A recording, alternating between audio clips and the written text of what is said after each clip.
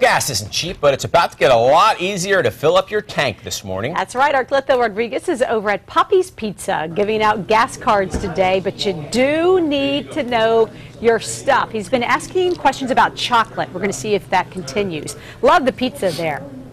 Oh, that's right. Look at that one right there. That's a very own Where's Cleto Pizza. And I got to be honest, they were telling me about this cheesecake that it was the best. This is a family from New York.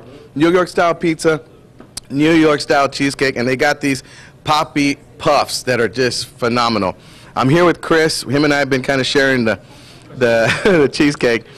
Now, Chris, I'm going to ask you a question. I need your help, okay? Okay. Um, trivia, we've been doing it all morning.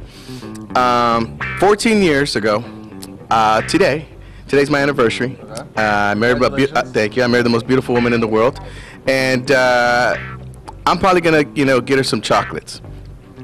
What is considered the most romantic chocolate out of these? Uh, is it the Reese's Pieces, the Russell's chocolate, or is it the Garafalos? You mean the Ghirardellis? No, I meant the Garafalos.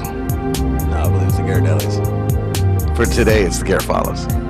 Okay, for today it's the Garafalos. but the answer, I believe, would be Russell Stover. Russell Stovers, you know what? I think you're absolutely right, sir. I think you have not only got a half a cheesecake, but you also got a gas card here, my friend. Enjoy that. And again, uh, to my wife, happy anniversary. I love you, and uh, looking forward to another 14. All right, so I'm gonna send it back to you, Jessica. I got some uh, eating to do here. Yeah, you have a lot of eating. I like him. He holds his own. He said, no, I believe it's, a, uh, Yeah. he- he- yeah, he corrected the pronunciation there. Garofalo's in the house, though. I like that one.